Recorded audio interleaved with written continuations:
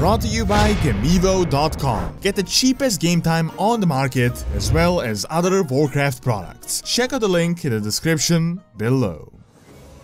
One of the most versatile spellcasters, mages utilize the arcane in its various forms. From the Eredar to elves to humans, they are some of the most powerful beings within the Warcraft universe. However, which mage is the most powerful in all of history that wasn't on a titan scale?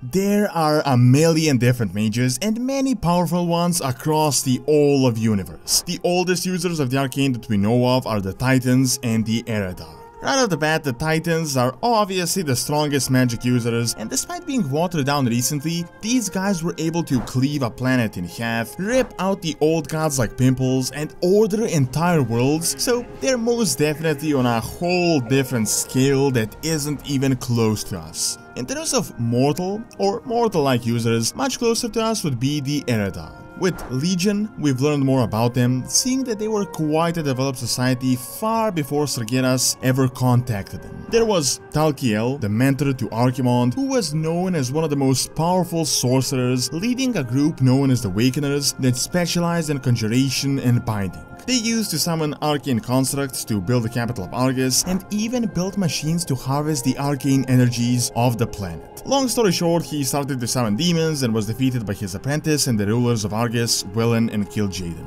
Ultimately, all of them aside from Velen and the Draenei became servants of the Burning Legion. Still, the only reason Sargeras was even interested in them in the first place is that they were known as one of the most intelligent races across the whole of universe and the best mages out there. So you can also add Kil'jaeden and Archimonde to the list, but seeing as they were subsequently on a godlike scale and turned into warlocks, I wouldn't really count them. We can see them possibly as mages in the past, but seeing as we know so little about Argus pre-Legion invasion, we can't really know the exact extent of their abilities. Velen on the other hand was also a mage, but ever since he has been a priest, heavily empowered by the forces of the light, so he's most likely rusty with his use of the arcane, and even though he has over 25,000 years of experience and is ridiculously ahead many other casters, this doesn't really mean much. For example, humans are some of the best mages on Azeroth, yet are extremely short-lived when compared to the other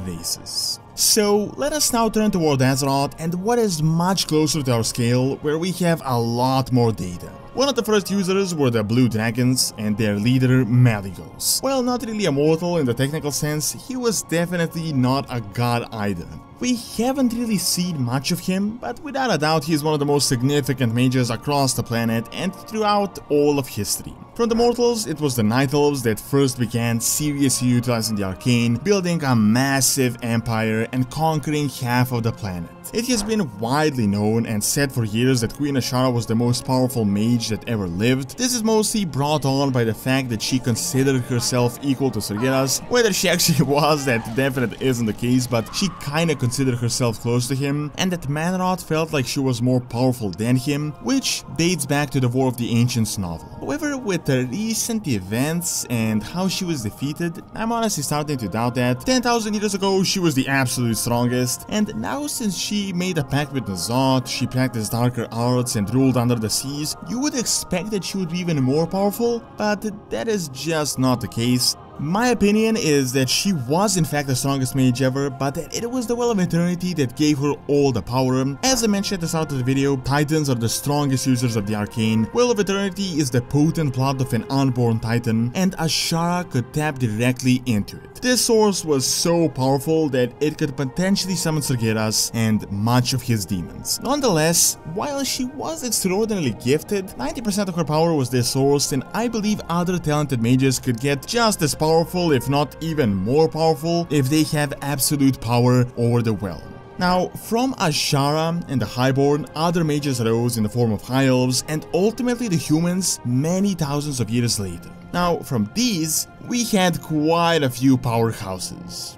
First are the Guardians, which are a story for themselves, most notably Aegwynn and her son Medivh. Both were incredibly powerful and both had access to the ley lines of Azeroth, similar to Azshara and the Well. Aegwynn defeated the Avatar of Sargeras and created his tomb. Her son created the Dark Portal and was one of the most relevant characters ever, not really as a mage, but more as a political and a uniting figure. Now, Guardians themselves are said to have the power of multiple mages, which is completely obvious as they are a part of the council and the others imbue a part of their own power in order to have a single mage that is the most efficient.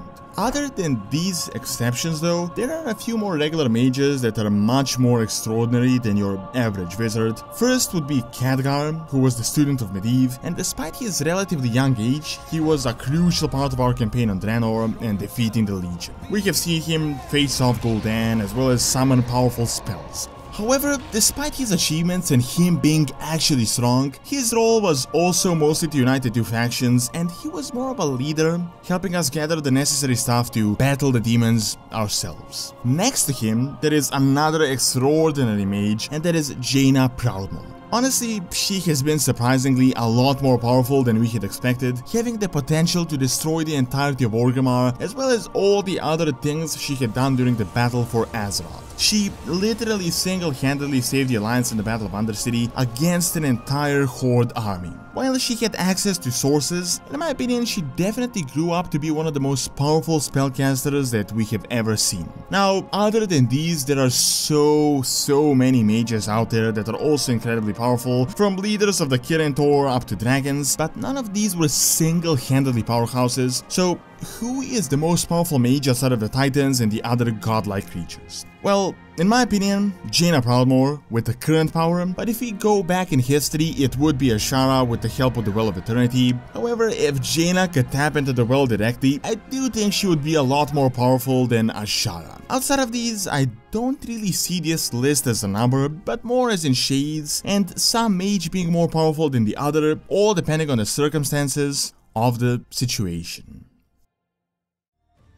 Thank you for watching, check out the most powerful warlock by clicking on the screen and also check out the second channel Doron's Academy for videos on real world history and science. See you next time.